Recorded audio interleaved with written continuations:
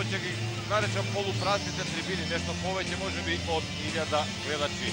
Но тоа не значи дека барем кога станува зборот збор за екипата на Металург, нема да се обиде да се врати на старите патеки и одново да го загрози приматот со последните две сезони го Презеде Вардар. А Вардар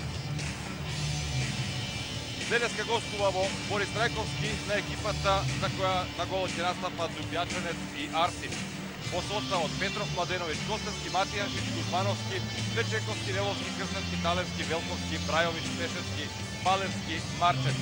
Неколку нови имиња, многу млади ракометари кои треба токму низ ова враќање на Лино Червари на Металург во сека регионалното разпреварување по минато сезонското отсутство кога наш представник беше вице шампионот екипата на Струмица, токму низ овие надпревари да гради тим што ќе биде достоен и за надпреварите кои ги очекуваат во Лигата на шампионите, но да гради и ракометари кои ќе бидат во составот на нашата репрезентација. Милич и Ангелов, голмани за Вардар на овој надпревар. Недановски, Поповски, Ферейра, Деревен Карачи, Чушемаев, Канјењас, Цидри Чупич, Сибиров, Чишкарев, Морозат, Ончев и Марселин. Е изборот и она што има на располагање Раул Грозалес, имајќи предвид дека веќе знаете, Стојачен Стоилов, капитенот на Вардар е суспендиран за овој или за еден надпревар по дуелот што се одигра во рамките или како отворање на новата сезона во Сеха Лигата. Вардар против Пешков 34-34, оној прекршок во последните 30 секунди, што му возможи пенал на Мешков и Реми во Скопје, значеше и црвен картон за Стојаче Стојлов и автоматска суспензија од еден надпревар. Голема ту Хорке Македа, се жали на повреда. Рожерио исто така новата аквизиција на линијата од 6 метри Бразилецот беше поздака прашалник, но тука е во составот, иако реков доволно квалитет и на едната и на другата страна, да видиме еден, се надевам, убав надпревар, она што го истакна Лино Черва стратегот на Металурка дефинитивно, вели Вардар е фаворит, од тоа нема бегање, тоа е јасно, тоа е сигурно, тоа сите што малку го следат ракометот да го знаат, но интенцијата на неговата предсе млада екипа ќе биде да им пружи достоен отпор на поискусните, на поквалитетните, да го одигра максимумот и реков токму низ овие надпревари да го гради тимот што би требало од надпревар во надпревар, од месец во месец да расте и да го постигне она постигнувано ниво. Инаку реков, ова е повета во еден месец исполнета со ракомет, имајќи предвид дека и Двете екипи ќе не представуваат и во Лигата на Европските шампиони, секако во две условно ќе ги наречам различни конкуренции. Вардар во една од оние две посилни групи, според на квалитетот додека Металур како и минатата година ќе биде во една од двете со послапа квалитетна групи, но тоа не значи дека Металург нема да има сериозни противници и искушенија. А се надеваме дека низ групата во која се уште Лариоха, Чеховски медведи, Момпелје, Елверум и Татран, Металург ќе успее да обезбеди настап за во завршницата да им се приклучи на оние кои ќе одат во нокаутна фазата од А и Б групата, реков во Б групата екипата на Дајде Карлевен, Келце, Загреб, Пешков, Пиксеге, Целје и Кристијан Штат. Подоцна за богатиот календар, не и на другите. Одиме сега со надпреварот тргнува во прв напад екипата на Металург со Младеновиќ српскиот интернационалец, исто така млад ракометар, број 7, дојде од Арена, од Франција, иако добри пет сезони мина со младата екипа на Гумерзак во германскиот шампионат. Крстување со талески обид за место линијата од 6 метри, меѓутоа таму не може да мине Иван Чупич на позицијата на еден во одбраната на Вардар. Ќе внимава истовремено и на Палевски искусниот хрватски интернационалец да, Чупич ги засили Вардарци на десната крилна позиција Ангелов на интервенција, но после не прекршен да ги основни напомени во пресет на мечот за Димитар Митревски и Благој Честодоровски, наши сонародници секако. Го судат овој надпревар Ацо Николовски е делегат македонско скопско дерби во сека регионалната лига и отлика се под такота и македонските официјални лица. Успева првиот добит од 7 метри. Младеновиќ се обиде со топка од подот да го изненади Петар Ангелов. Уште еднаш овој прв обид од 7 метри. 70 на секунди игра. 0 спрема 0. Прв напад иде екипата на Вардар. Да видиме со Карачич. Со Душебаев и со Пороза на надворешните позиции. Марсенич на линијата од 6 метри. Чупич десно. И да се пак успева да пролезе. Душева е простор да влезе на 6 метри да отвори со 1 спрема 0. Јасно е кога станува збор за искуството, тоа е на страната на екипата на Вардар, може би и според индивидуалниот квалитет, темелен пред се на искуството, но реков има доволно потенцијал, се уште не и врвен квалитет во екипата на Металург, но реков има доволно материјал со кој Лино Червар може да работи и реков сето тоа е во интерес на македонската репрезентација кој исто така е пред сериозни искушенија. Пред се настапот на светското првенство. Умало сега пешачки успева да само во конструкцијата на голот останува неслободен Ангелов се развива полуконтра на спротивната страна. Карачич нема да завршува. Меѓутоа Порозан одлично поставен Арсич. Еве неговата прва интервенција уште едно ново име. Од металопластика тоа се Металург Металурка на спротивната страна Марчев успева да изравни на еден спрема еден. Марчев она што беше најавувано на почетокот од э, организаторите, од э, оние кои се понесоа од идеја на овие простори да создадат една лига на равништето на германската Бундеслига. Пред се тука ќе го спомена Марија Начевски, потоа Михајло Михајловски и уште многу истакнати ракометни работници, еве, веќе на прагот на шестата сезона, добива квалитет, реков, на кој може да му позавидат многу-многу национални првенства. Но сето тоа оди во прилог и на екипата на Варда и на екипата на Металург, кои, како и во изминатите сезони, кога се настапува сека лигата, нема да бидат дел од првиот дел од шампионатот на Македонија, но затоа реков ќе имаат доволно силни надпревари да се одржи континуитетот, да се одржи надпреварачката форма и да се надеваме и на добри резултати во Лигата на шампионите. Немања Младеновича комбинација со Брајовиќ, Далевски и Уфра Ангелов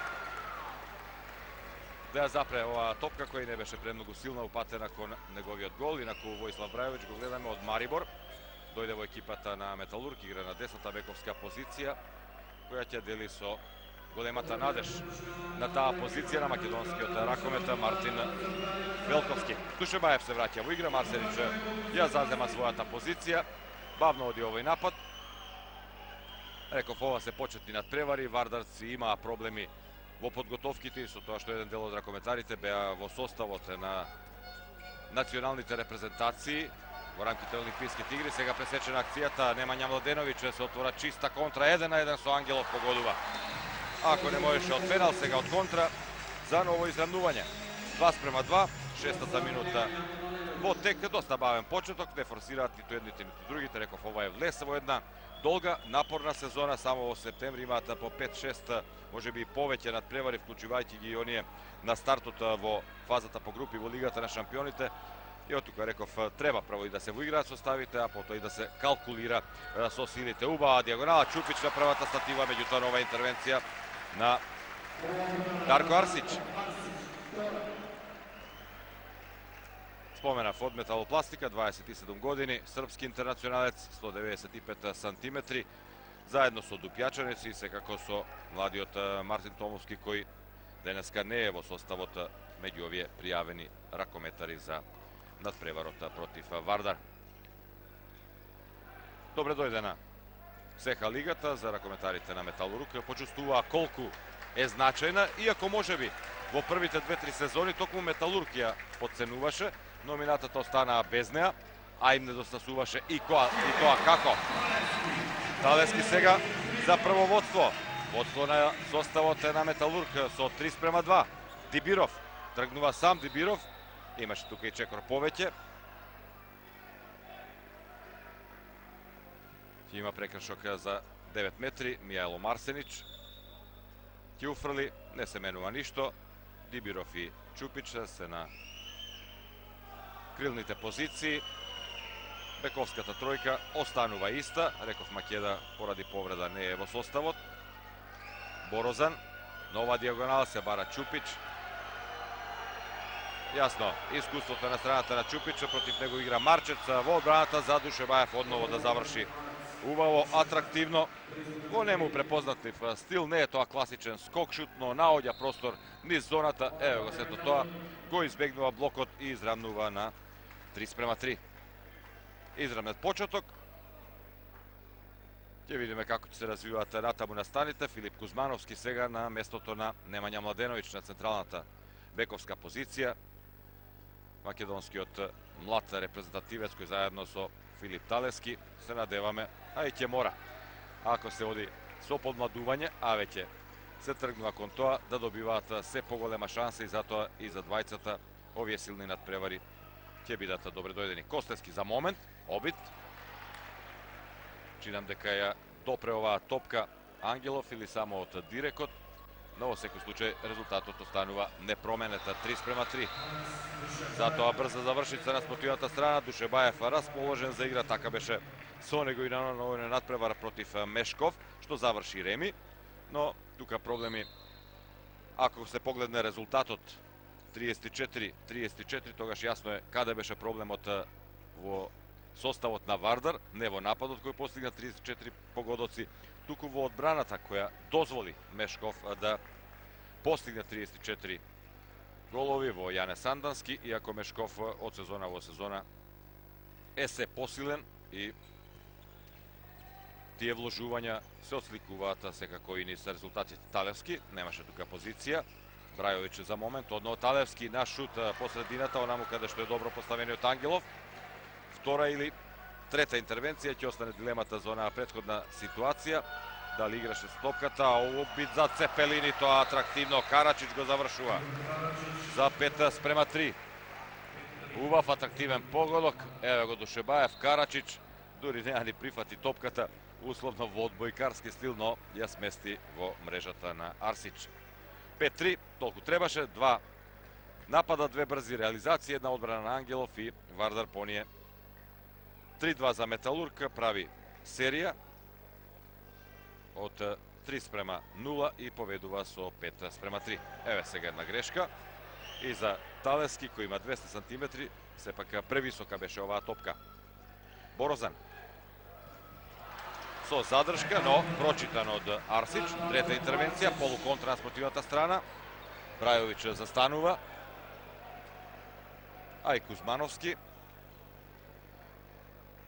Играта ја напушта Неловски, оди Константин Петров на линијата од 6 метри со број 30 и Мартин Велковски. Поздравен со аплаузи од гледачите, реков нешто повеќе од 1000.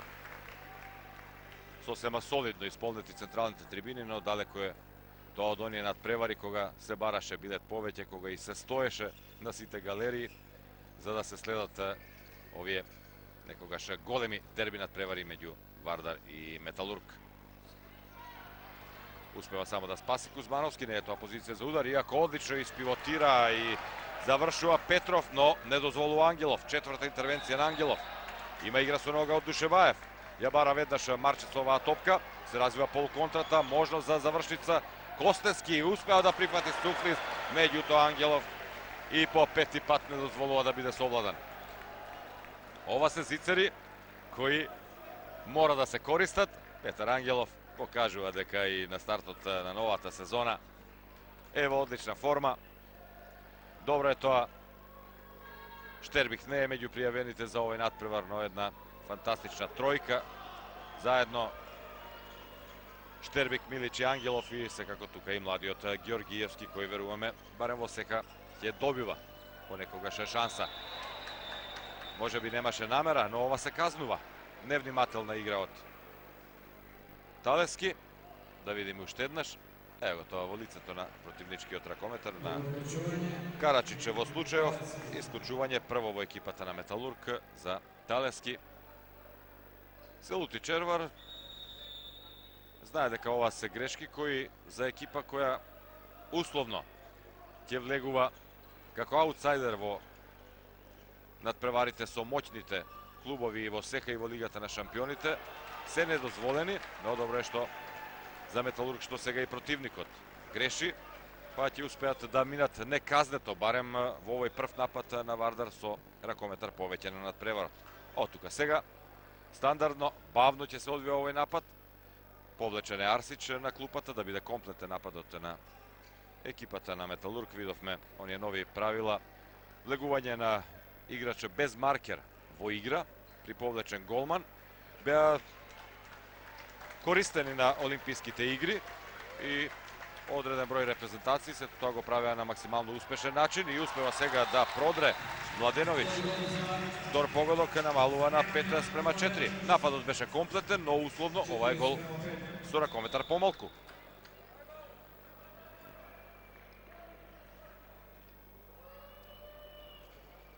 Има уште доста од казната, така што Вардар ќе може мирно да завршува напата со ракометар повеќе. Карачич ова убаво спушта за бразилецот на 6 метри за Ферира, овој фаулиран за прв ударот 7 и за екипата на Вардар. И жолт картон покажан за Велковски. А да видиме Чупич. Да тој почекав, обично Дибиров ги отвораше овие серии, па потоа Манасков, кој веќе не е во екипата на Вардар, а сега Чупич заедно со Хорват, еден од најдобрите реализатори во хрватската репрезентација. Обид за лоп и успева успева Арсич да го прочита сето ова.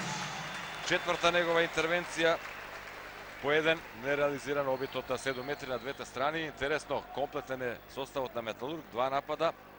Вардар не успева да реализира со ракометар повеќе и од тука шанса за домаќинот на овој надпревар да се врати резултатски поније 3-5. Сега Напад за изравнување на 5 спрема 5. Кузмановски. Велковски десно, лево е Немања Младеновиć. Обрадовиќ кој игра на левата крилна бековска позиција е повреден, а Ангелов сега влегува во шутот на Петров, но имало прекршок од шпанскиот интернационалец. Исто така нова аквизиција во редовите на Вардар, Жоан Канелјас, 29 години за втор удар од 7 метри. Овој прекршок над Петров. И можноста за Крстевски.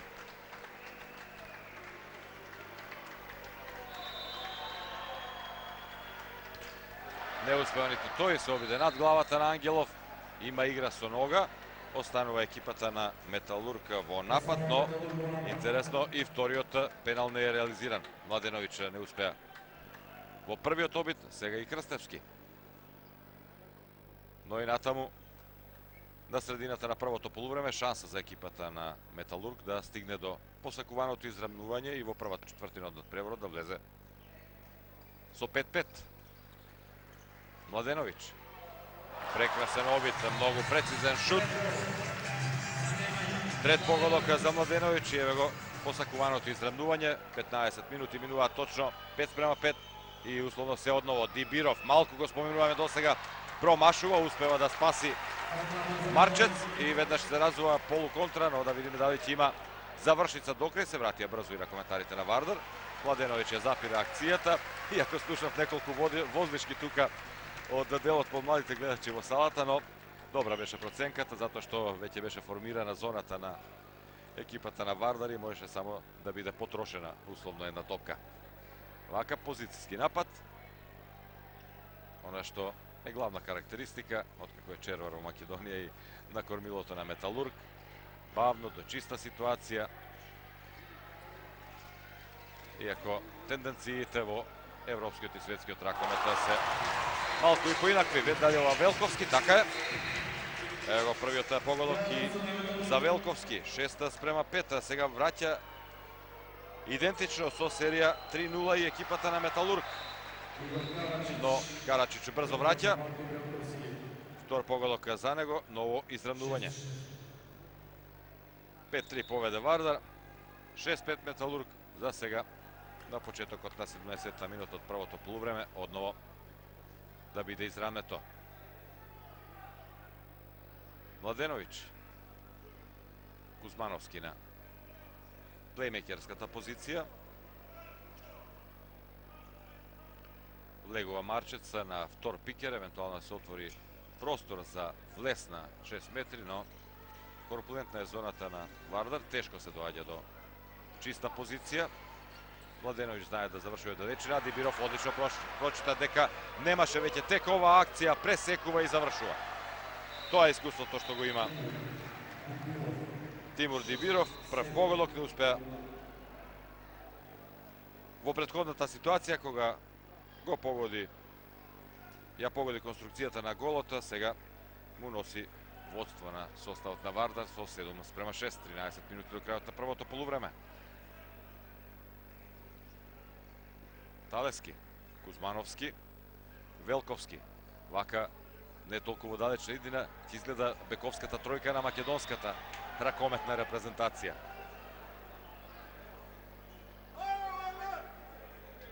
Велковски.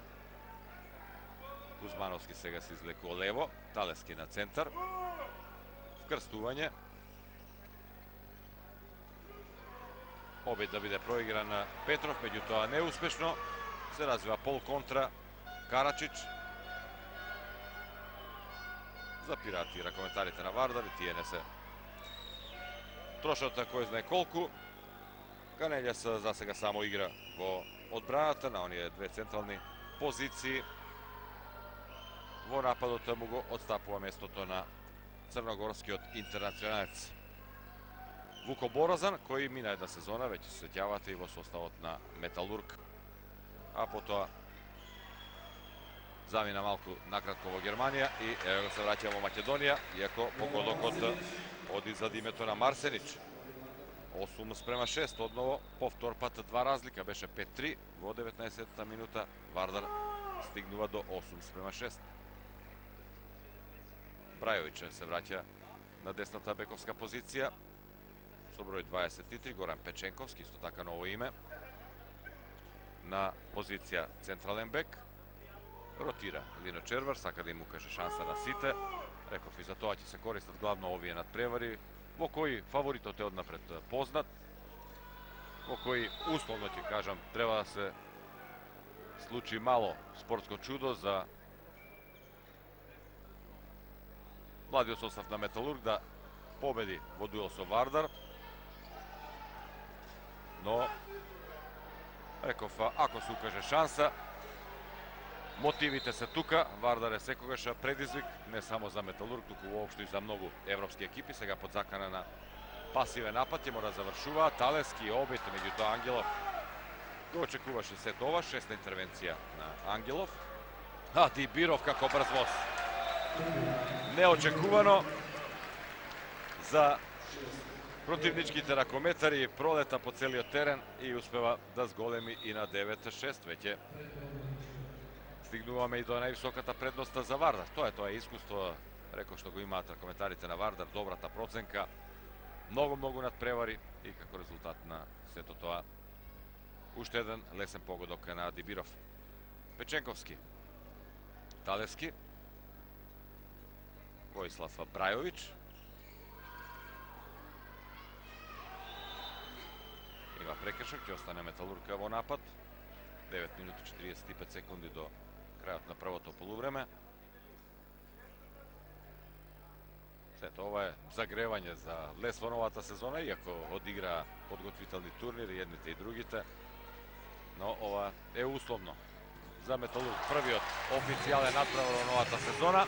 Брајовиќ погодува прв гол и за него. Треба прекине серијата на Вардар, намалува на 9 спрема 7. Инаку водеше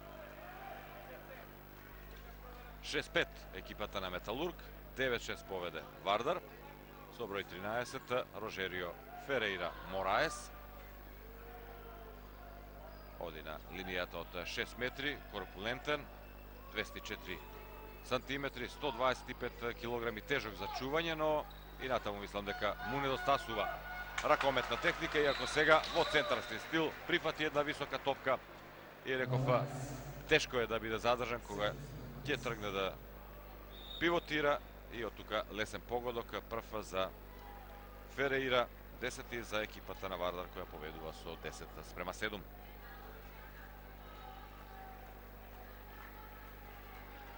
Pečekovski pa Brajović.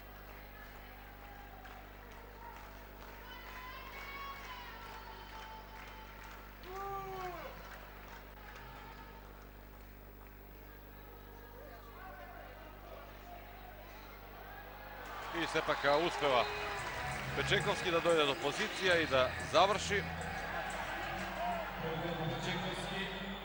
Evo ga i negovio ta prv pogodak za 10 спрема 8, но ќе има 7 метри. Втор пати за Вардар на овој надпревар. Некако сета она бавна игра на надворешните позиции на Металурга, како да ја подзаспа одбраната на Вардар, па успеа Печенковски да најде простор, а да видиме сега Канелјас од 7 метри. Нема гол, нова интервенција на Арсич, два одбраната одбранети удара од 7 метри, вкупно 5 интервенции. Дор не реализиран обид прво на Чупич, а сега на Канелјас за да биде Металург во шанса да одржи резултатски приклучок. Оние на два-три пати три разлика што ги имаше екипата на Вардар.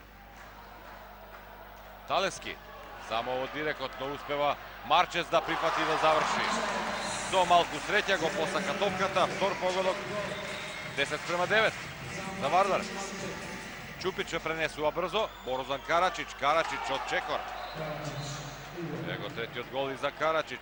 11 спрема 9. Малку доби на темпо овој надпревар во 24-та минута. Како хокјарски измени. Лино Червар, половина тим го менува. 6 интервенции Ангелов, 6 Арсич, 11-9, два гола предноста за составот на Вардар во пресет на завршните 5 минути од првото полувреме. Печенковски и успева Брајовиќ. Втор погодок за него, 10 за екипата на Металург, 11 спрема 10. Кој говорев во фаворитската улога на Вардар во пресет на овој надправа, секако во прилог на тоа одати резултатите од последните две сезони,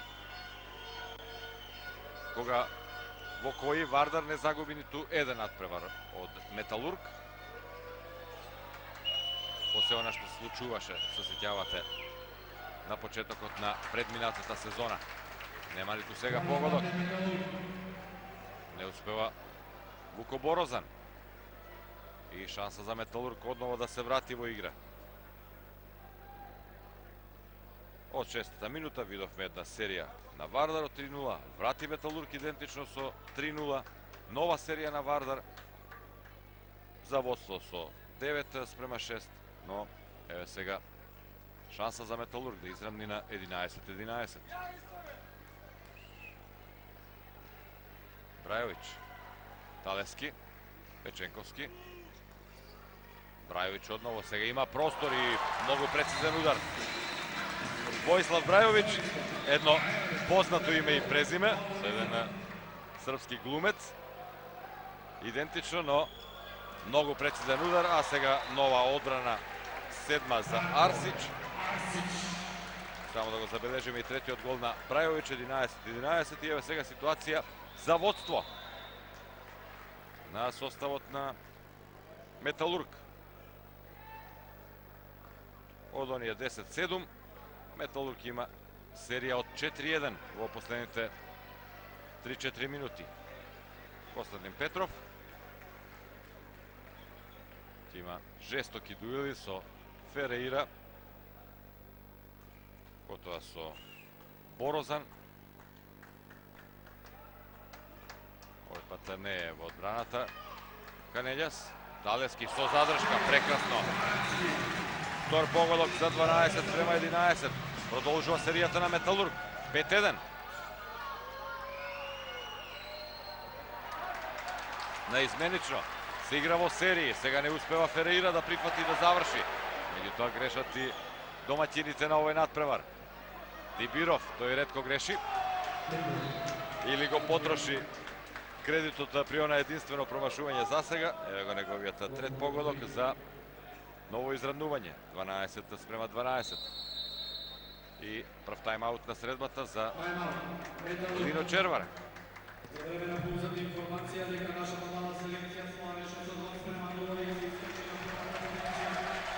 Да, и она информација што ја очекувавме во меѓувреме на Рената Филип втори завршиот преварот меѓу младите фудбалски репрезентации на Македонија и на Ирска. Победа на Македонија со 1 спрема 0, барем така беше на полувремето, но дефинитивно е победа што ја остава Македонија на врвот. И практично значи само доближување на еден чекор до пласман најмалку во барашат преварите за настав на Европското првенство идната година во октомври против Шкотска на домашен терен. Потребна е победа и реков најмалку едно од првите две места ќе биде обезбедено. Честитки за младите фудбалери, иако беше доста тежок теренот за игра, многу дошт од вчера вечер и во текот на денов во главниот град. Но во секој случај продолжуваат со одличните игри и успешни настапи. А ние продолжуваме да го следиме над преварот во спортскиот центар Борис Трајковски. 2 минути, 11 секунди, 12 спрема 12 напад за евентуално водство на составот на Металург. Борозан Печековски и Талевски.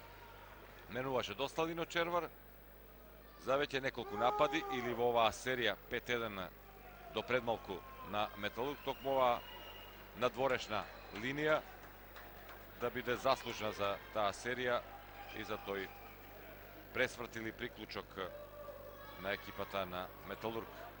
Петров, Печенковски, тргнува сам.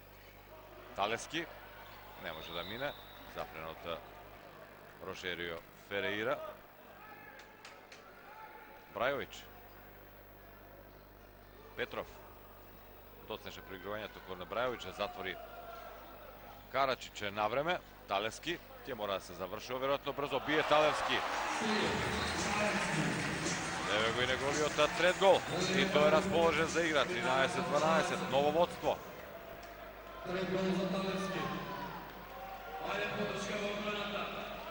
Период во кој во налет е екипата на Металург. Има пенал. Серија 6-2, но и трет ударот 7 метри, еднаш не погоди Чупич, потоа не успеа ниту Канелјас и јасно е, време е за Дибиров. Арсич две одбрани, може ли и трета? Атрактивно, убаво Дибиров. Иако се чинеше дека Арсич ќе има оваа топка, сепак не. Четврти гол за Дибиров, прв за Вардар од третиот обид од 7 метри и ново изравнување. 13-13. Доволно време за традиционално долгиот напад, иако сега ќе не може да си го дозволат во екипата на Металург. 15 секунди остануваат, но покажа Талески, знае да завршува од надворешните позиции. Брајович исто така, Брајович има тука простор, меѓутоа Ангелов. Седма интервенција на Ангелов, две секунди мора да се бие, го прави тоа Душебаев. Баев и мислам дека ова одбрана на Арсич осма влезе во времето, иако не беше ова сериозен удар од голема далечина, но во секој случај 13 спрема 13, резултат што подсетува на некои стари добри времења кога во еден период мислам дека од 9 надпревари дури 7 завршија нерешено кога максимално израмнето меѓу себе игра овие две екипи. Така и сега, барем во првото полувреме, иако реков далеко е сето ова од едно, еден таков како минатото тезничен надпревар, но ова е само влез во новата сезона, подготовка и испитување на силите и така натаму, иако како се ближи крајот ќе гледаме се поквалитетен ракомет, затоа што Вардар изгуби два бода во првиот надпревар на домашен терен против Мешков, а целта пред се на Вардарци е најмалку пласман во завршниот турнир во на Final Four турнирот и секако освојување на Сеха лигата. Металург од позадина ќе чека својата шанса со надеж дека ќе се укаже ако е така, тогаш ќе проба и да ја искористи. Почитувани гледачи, во обичајната пауза, потоа се враќаме и со второто полувреме.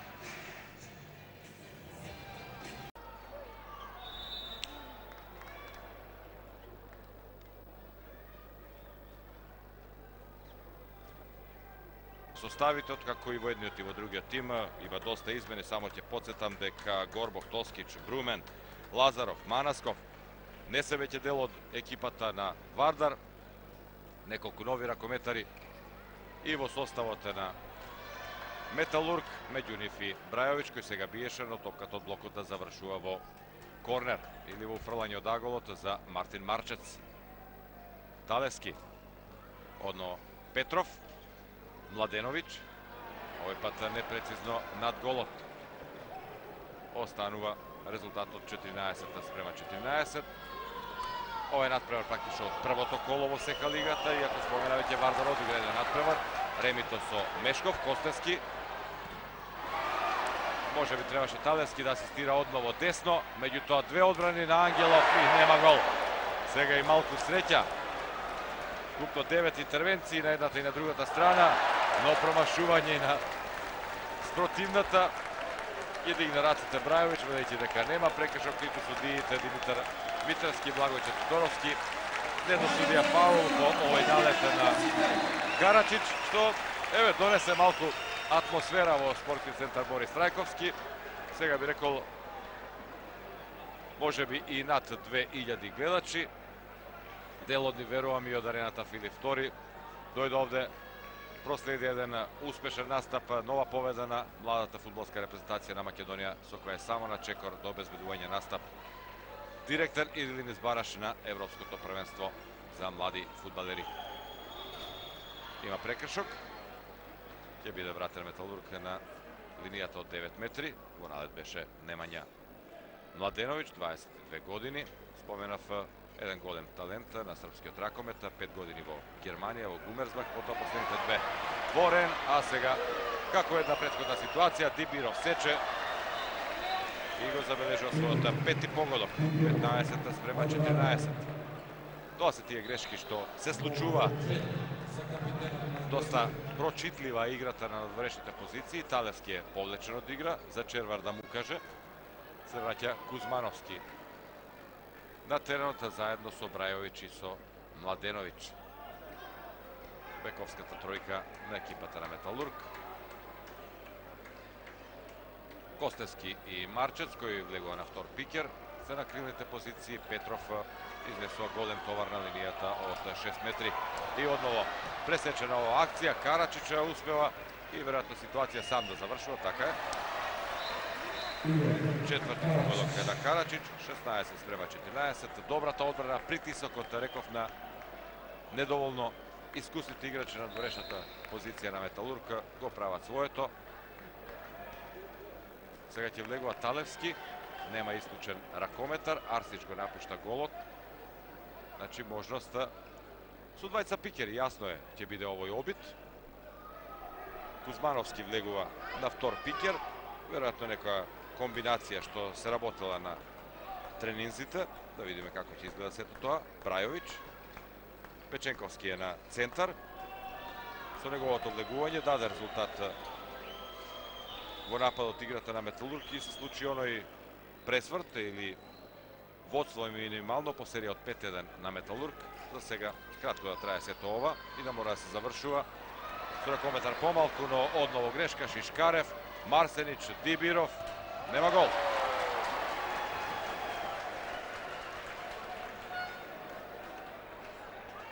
Кој ќе оди сега надвор? Брајович. Доста грешки во екипата на Металург, реков тоа е во овој период од сезоната составен дел од играта. Одново Арсич е на клупата за резерви. Костески го формира нападот во кој се 7 ракометари во моментов за екипата на Металург. И одново овој пат за Душе Баев, за малку не успеа. Иако ја допре топката, но не и да ја прифати и убава асистенција за Петров. Скор погодок за Петров, намалува Металург на 15 спрема 16. Брза трансформација на Вардарци Шишкарев спасува и да видиме, нема гол и сепак со топката Арсич завршува во голот. Втор гол за Шишкарев, 17 спрема 15.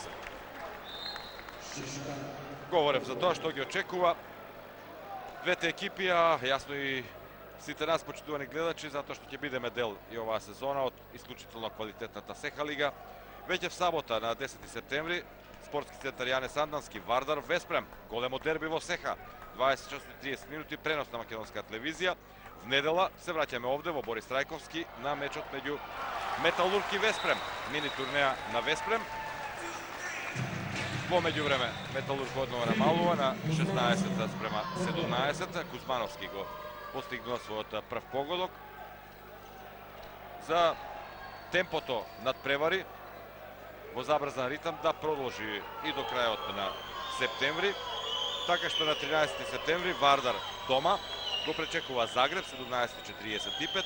На 14 септември Металург игра против Мешков. На 18 септември Металург Татра, 27 септември Металург Нексе. Тоа се обрските во сеха лигата Деревен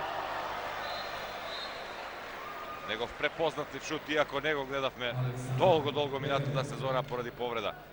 Зголемува на 18-та, спрема 16, 39-та минута е во тек.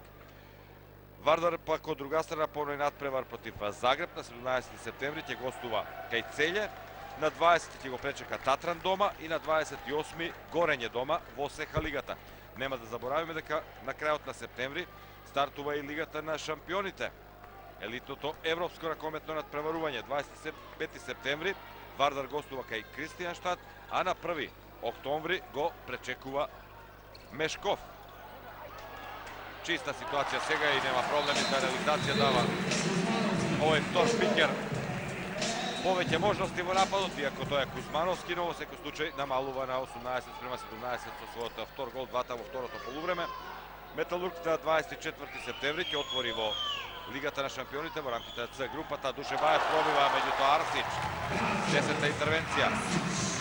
Значи Металург Келверум 24 септември и 2 октомври Татран Металург, потоа и гостување кај Чеховски медведи на 6 октомври. Реков една исполнета агенда на двата клуба настапи во Сеха, регионалната лига настапи во Лигата на ракометните шампиони и практично септември, почетокот на октомври ќе биде дефинитивно и месец на ракометот на програмите на македонска телевизија. Циндрич на центар, Душебаев, Македа реков е повреден, тука е во салата, но не беше во комбинација за овој надпревар. Пресекуваат на коментарите на Металург, и Марсенич веднаш враќа. Циндрич повлекува контра. Нема подршка, па ќе мора сам. И успева. За 19 спрема 17. Прв гол и за Лука Циндрич. 40 минути минуваат од надпреварот. 13-13 за 10 минути. 6-4 серијата на Вардар. Второ полувреме во кое веќе четврти или пети напад го гледаме Металург без голман, а со 7 ракометари пред голот на Петар Ангелов. Заглави за момент Младеновиќ. Талевски Нема многу простор, но еве го Младеновиќ, убаво наоѓа на 6 метри. Четврти гол за Младеновиќ. Да одржува тензијата. 18-19. Дефинитивно нема дилеми на чија страна е квалитетот. се исто така во игра. Душебаев во средината. Таму одржува поставен Артич, 11-та интервенција.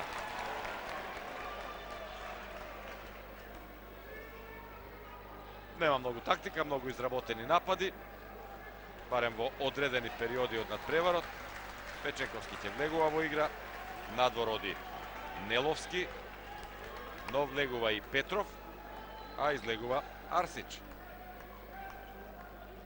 Со Филип Кузмановски на втор пикер. Оби таму, веројатно за Младеновиќ да отвори простор. Покажа Младеновиќ дека знае да испиотира. Да отвори простор, но одново, иако сега не успева за малку. Дибиров да пресече. Обид за лоп. Ангелов. Атрактивна интервенција. Но не и потоа. Десета интервенција за сепак повтор пат на овој натпревар. Марчет да собере еден отпадок и да го постиге својот трет гол. 19 према 19. Ако ништо друго, неизвестноста не недостасува. Циндрич. Деревен. Душебаев на влез, погодува. Или не, сепак само на дворешниот дел од мрежата, но ќе има исклучување за Талевски. И тоа е второ за него. Или Марчец сепак со 73 број. Иако мислам дека и Талевски беше тука во тој обид да биде запрен налетот на Алекса Душебаев. Четврти удар од 7 метри. Само еден реализиран Дибиров. Тој редко греши. Шести погодок за Дибиров, 50 на реализација на ударите од 7 метри, 20 спрема 19. Гол предносно и играч повеќе за екипата на Вардар. Голот на Металург одново ќе биде празен, тоа е јасно. Неловски легува во игра. Нападот е комплетен, но треба да се внимава на релативно честите грешки во нападот кога пресекува пред се Дибиров. Проигрување на надворешните позиции.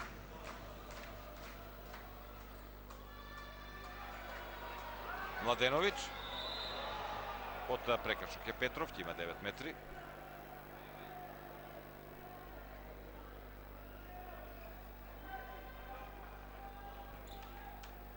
Одново е Арсич надвор од игра. Костевски оди на десно крило да се разлече зоната. Успева да прифати Петров, голот е празен, го знае тоа Душебаев и казната стигнува.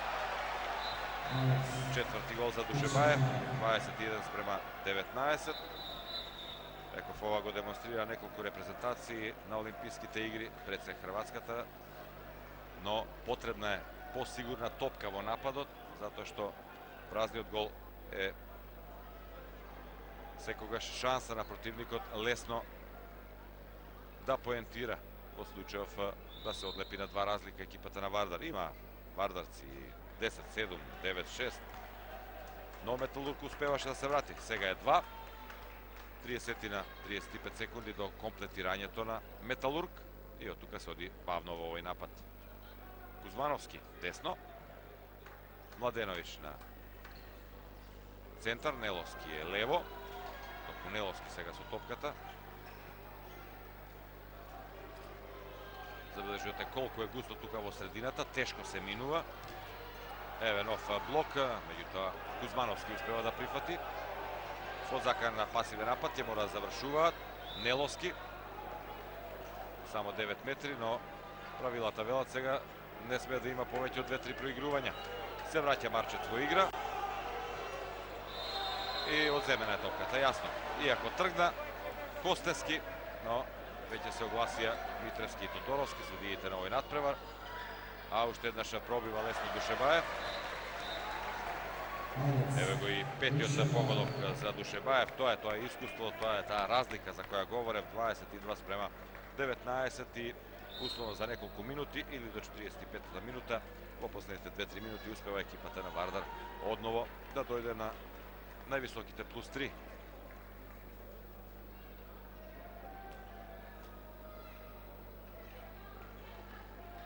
Облечен е Неловски, Петров легува во игра во екипата на Металург, Кузмановски на центар, Младеновиќ оди десно. Талески. Кузмановски. Младеновиќ. Има пробивање. Веднаш обид за контра, но ќе мора топка да се врати назад и да се избрише подот. Иако Одлично беше проигран Данил Шишкарев.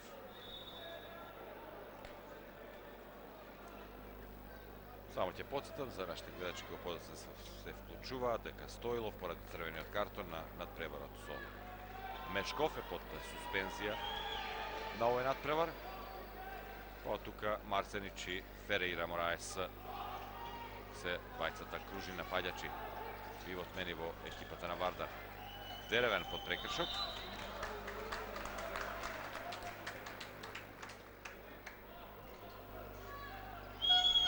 Марсенич мали проблеми со топката. Душебаев, Циндрич, одново Душебаев, ја избегна зоната и атрактивно завршува. Шести погодок на Душебаев. Тоа е добро за Вардар кога уште на почетокот на сезоната Така беше на преварот со Мешков Душебаев, еден од најдобрите покажува дека е во добра форма. Не е сериозна повредата на Македа, така што таа десна вековска позиција ќе се засили. Враќањето на Дереван, ангажирањето на Кањелјас и Борозан, формираат една убава тројка на левата бековска позиција, ако Шпанецот може да одигре на центар, но тука се Карачичи Циндрич во преден план, Петров прифаќа, меѓутоа Ангелов не дозволува. 11-та интервенција и идентичен ефектот на голманите. Арцич Ангелов по 11 интервенции. Но резултатот и натаму. 4 разлика, 48 минута, 12 минути и 50 на секунди до крајот. И нов напад за Варда. Реков, може би на нијанси, но сепак на разлика во квалитета Вардар успеа да ја направи оваа разлика, да ја казни секоја грешка. Деревен не успева да прифати Марсенич, не очекуваше само поглед на кон Деревен. И натаму реагира Марсенич дека било некоректно прегрувањето, но затоа враќа Неловски на противната страна. Прв гол за 20 спрема 23. Реков, и она проигрување од предмалку е составен дел од играта во овој период на стартот на сезоната. Треба време и за воигрување и за да почне да се разбираат меѓу себе на коментарите, особено што Деревен ја пропушти минатата сезона. Циндрич, еве нова комбинација за Марсенич, погодува. Ако пред малку не успеа да прифати, сега сигурен е Марсенич е втор гол, прво второто полувреме, 24 спрема 20.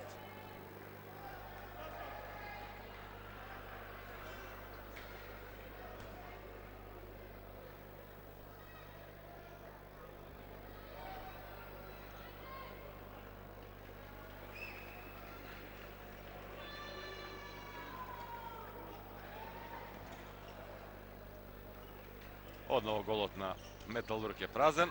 Убав ролинг на Кузмановски, но не и позиција за шут, меѓутоа затоа Младеновиќ е се обиде, навреме затворен, прекршок за 9 метри. Пешевски забележувам, се подготвува, веројатно тој ќе ги добие овие завршни десетина минути на местото на Петров. Кузмановски, Младеновиќ, Талески, Петров, убаво, меѓутоа знае Ангелов каде треба се затвори кога пикерот не е на својата стандардна позиција по средината на теренот, а сега не успева да прифати ниту Шишкарев. Еве контра, Костески. Неверојатно. Тоа е Ангелов, тоа е човекот што знае да ја дигне публиката. Феноменална интервенција. 13-та, но веднаш има погодок. За 21 спрема 24. Костевски стрелец. Но видовме неколку периоди на вакви атрактивни интервенции, на добра игра. Иако реков, без поголема тензија минува овој надпревар, без некое посилно темпо, на ово секој случај покажуваат едните и другите дека имаат потенцијал, дека како ќе се комплетираат, Дрогришки го нема, Обрадовиќ го нема во екипата на Металург, кога зборувам за отсутните. Деревен не се решава да се дигне на оној свој препознатлив шут. Циндрич, обид за дијагонала, Костевски пресекува. Не стигнува до Недановски, алтернативата за Дибиров, Дибиров оваа сезона на левата крилна позиција по заминувањето на Манасков. Костевски со Ангелов, Ангелов брани. 14-та интервенција.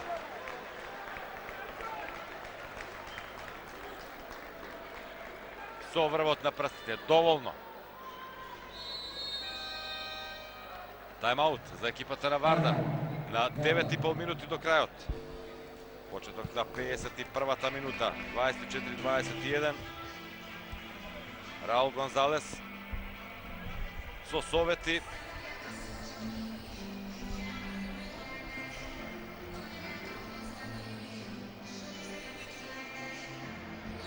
Ќе биде пеколна сезоната. Реков со Рајне Карлеве, со Келце, со еден секогашниот пријатен Загреб, со силниот Мешков, со Биг Сегер, со Целје, со Кристијан Штат. Вардаци имаат сериозни искушенија и во фазата по групи во Лигата на шампионите. Целта останува иста. Да се обезбеди прв историски настап на завршниот турнир. Не во Сехан, во Лигата на шампионите. Иако конкуренцијата со горење целја, со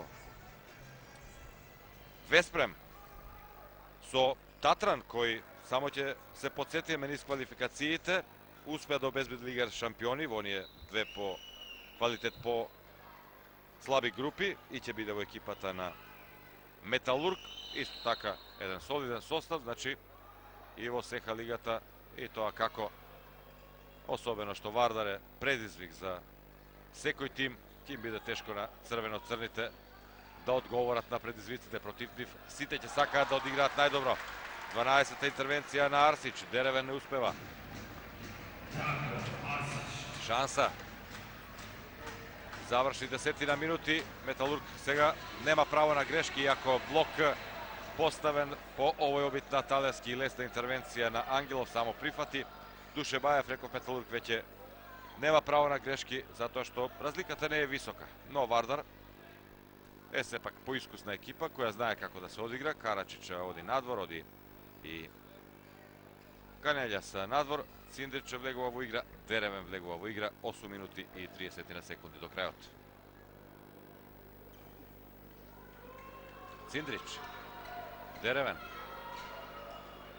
Душебаев, имало чекор повеќе од Ушебаја велат судиите, Костески се извлекува во контра, малку високо за Марчет, меѓутоа успева да прихвати четврти гол за Марчет, 22 спрема 24 не дозволува Металург Вардар да отиде на 4 разлика одново. Вака одржува приклучок. За да биде поинтересно до крајот. А Ато Николовски, делегатот нови надпревар, со опомена за Дина Червар. Не знам зашто станува збор, дали за некаква реакција кон судиите на Червар. Синдрич е под прекршок.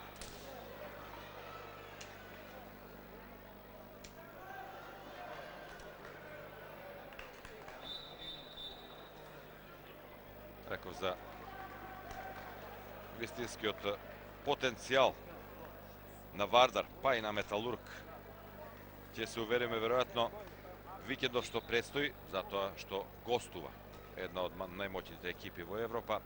Веспрем, исклучителен ростер. И од тука ќе бидат интересни тие два надпревара, веројатно и со многу повеќе Тензија, Душебаев, прифаќа Марсенично, далеко од позиција да се сврти и да завршува. Циндрич тргнува сам, прави пробивање. Немаше многу логика во овој влез на Сидрич, повеќе на сила, индивидуално. И можност на 7 минути до крајот Металург да намали на само една разлика.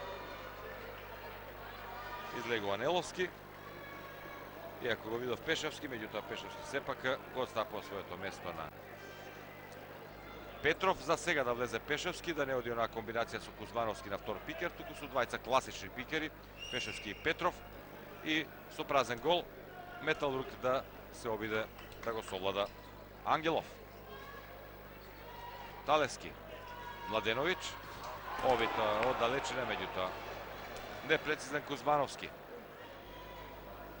тргнува Канелјас на противничката половина, се дигне на шут, меѓутоа не се решава да завршува, а Арсич го брани ударот на Карачич. 13 интервенции за Металург Арсич, 14 за Вардар Ангелов. Не е ништо свирено, продолжува играта. Нова шанса за Металург да намали само на една разлика.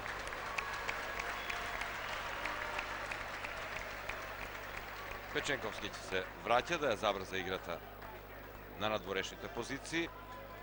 Кузмановски ќе оди на втор пикер, заедно со Петров. Талески на плей. Младеновиќ, Талески, Печенковски. Костевски оди надвор, празен е гол, дали ќе погоди Марсенич? Не!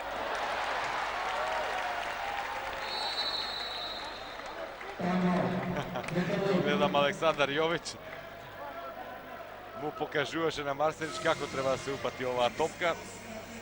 Но во секој случај тайм-аут сега за Лино Червар.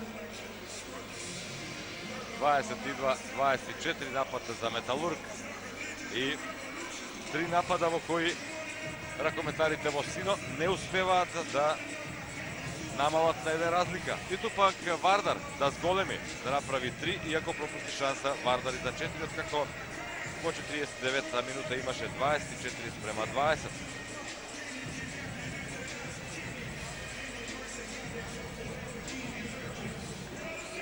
Атракцијата на Ангелов. Потоа тој новиот добиен дуел 1 на 1 со Костевски. Марчец. Дел од погодоците, Карачич, интервенцијата на Арсич и промашувањето на Марсенич.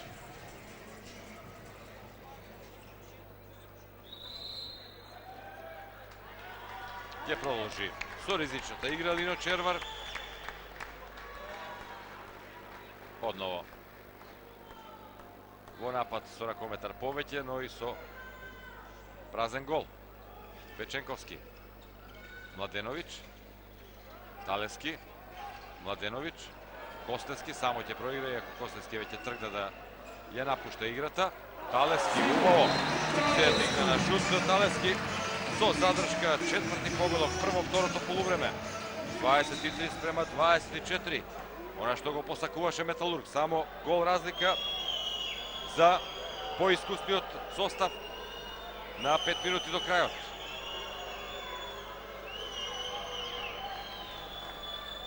Циндрич. Реков, доста ротираат, и едниот и другиот стратег. Не успева да прифати Рожеиро, во случајот Фереира. Меѓутоа, ниту контрата не успева на спротивната страна. Доста грешки. Ледановски. Деревен Циндрич Душебаев.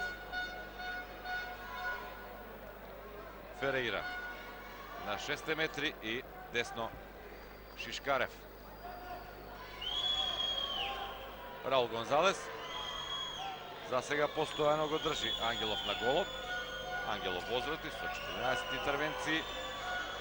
Деревен. Силен удар, за малку непрецизен. Душебаев има прекршок. Тоа е Деревен, знае да се задржи долго во воздухот, да чека, да почека да падне блокот, иако пред малку за нијанса беше непрецизен. Циндрич. Има прекршок, нема дилеми. Времето минува, 3,5 минути до крајот. Се е овде отворено. Доста грешки, но мислам дека и едниот и другиот стратег условно може да бидат задоволни од оваа ќе наречам контрола. Иако се игра за бодови, се игра во едно силно надпреварување како што е сека лигата, но долга ќе биде сезоната. Циндрич, чиста ситуација. Тоа е она што му недостасува на Переира. Тоа е тоа што тој не може да биде алтернатива за феноменалниот Тоскич. Има височина, има корпулентност, има килограми, но нема техника уште. 22 години, Рожерио Ферира Мораес. Тргнува во нов напад за изранување екипата на Металург на точно 3 минути до крајот. Одново е повлечен Арсич на клупата. Кузмановски и Петров на 6 метри. Недановски заложен за Кузмановски. Печенковски, Талевски. Успева да заврши пети гол. Изранување 24-24. Реков и пред малку, се е овде отворено. Не менува ниту Раул Гонзалес. Оние кои добија шанса, тие треба да го завршат овој надпревар, да ја побараат фаворитската улога, да ја оправдаат фаворитската улога. И сепак со малку среќа Душебаев завршува. Седми гол за Душебаев. 25 према 24. Иако се пожали Душебаев и на повреда. Но успеа таму во сета мешаница да најде малку простор. Червар се лути зашто не бил затворен на време. Но тежок е за чување Душебаев. А Металург добива подршка. играмо условно ќе наречам својата сала. Автокоманда е крамот на Металург, но во Лигата на шампионите, во сека Лигата, тоа е Борис Трајковски. Спортскиот центар. Печенковски, Талевски. Има прекачок од Душебаев. Минута и пол до крајот.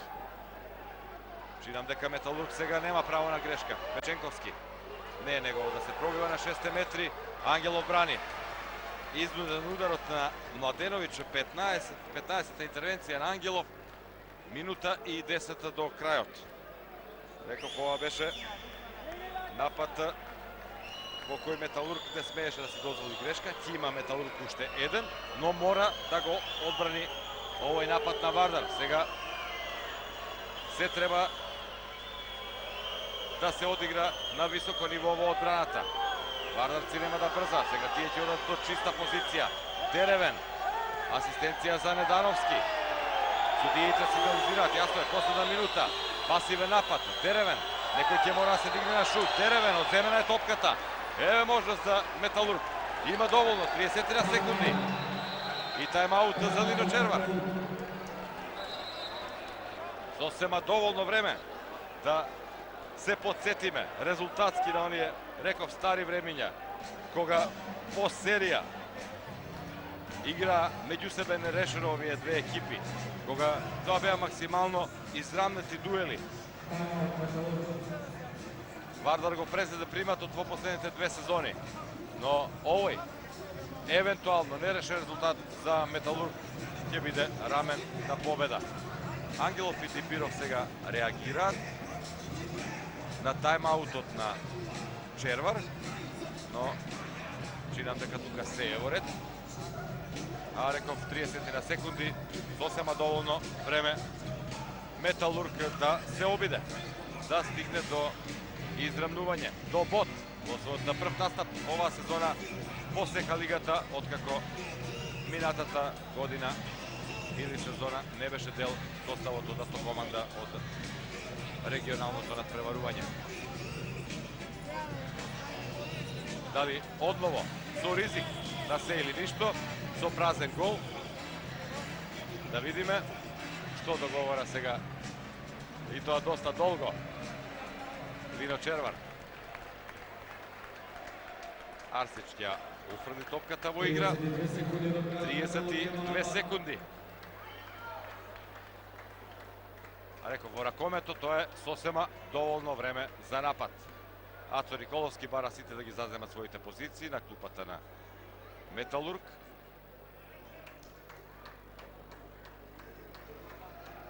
Чинам дека сепак ќе остане Арсич на голот, дека нема да се ризикува. Не, сепак излегува Арсич. Ќе оди Пешевски во игра. Голот е празен, публиката е на нозе. 30 секунди се е во рацете на ракометарите на Металург. Реми или пораз. Тоа е овој напад. Печенковски. Младеновиќ, Талевски, одново Печенковски, не е ова позиција. Да видиме што е свирено. Има интервенција од Ангелов. Судиите велат дека се е овде чисто, дека изминува времето и дека Вардар сепак слави на овој надпревар. да Печековски, иако ова не беше одиграна акција што се вежбала на тренинците, реагира сега Лино Червар, кај видите дека имало прекршок, дали и за најстрога казна за 7 метри ќе остане дилемата и кај мене. Но во секој случај Ангелов со својата 16 интервенција спречи да биде согледан, а сето тоа значи и победа за екипата на Вардар со 25 према 24, во вториот надпревар за Вардарци во Сека, по Ремито со Мешков 34 према 34 во својата сала. Не е трагедија, Металург одигра добар надпревар, без овој што Вардар да како голем фаворит, тоа не се забележа во текот тактика на целата средба, без овој што Вардар најчесто го контролираше водството и резултатот. Металург успеваше да се врати, И се тоа е најава дека Металург има потенцијал, дека на Вардар ќе му треба во игрување, но квалитетот е неспорен. Реков најава за една убава сезона, која во сека продолжува веќе следниот викенд и тоа со надпреварот меѓу Вардар и Веспрем на македонска телевизија 20 часови 30 минути в сабота и Металург Веспрем идниот ден недела 11 септември исто така во 20 часот и 30 минути. Почитувани гледачи, се радевам дека уживавте, на реков ќе биде белек на спортската понуда на македонската телевизија во септември, секако и со надпреварите од Лигата на шампионите во фудбал и Лигата на шампионите во Раковец, која ќе стартува кон крајот на месецот. Секако ќе го исполни овој период во наредните 15 на 20 дена доволно причини да бидете со македонска телевизија и верувам да уживаме во добри настапи на нашите два представника во регионот и во Европа, Металург и Вардар. Нивниот прв меѓусебен дуел во оваа сезона заврши со победа на Вардарци, минимална 25-24.